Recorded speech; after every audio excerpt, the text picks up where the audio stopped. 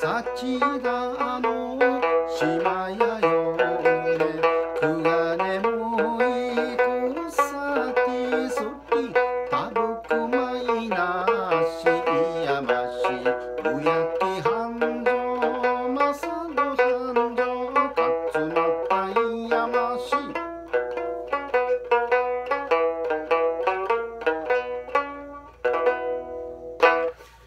はい、さいぐすよちゅうがなべら。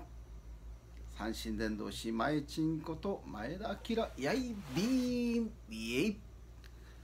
さあ新年明けましておめでとうございます。今年もたくさんの人たちに三神を伝道していきたいと思います。三神は三神のことを好きになるためにですね。三神のことをよく、えー勉強勉強というかねまああの分かると。あ三神ってこうやって音が鳴るんだ。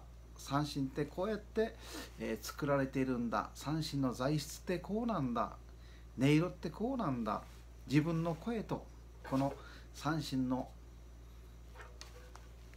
音がですねしっかりと、えーうまく調和してるんだというですね、えーことなどをですねどんどんどんどん、えー分かりやすく、えー伝えて楽しいことにですね、えー導いていけたらなと思います。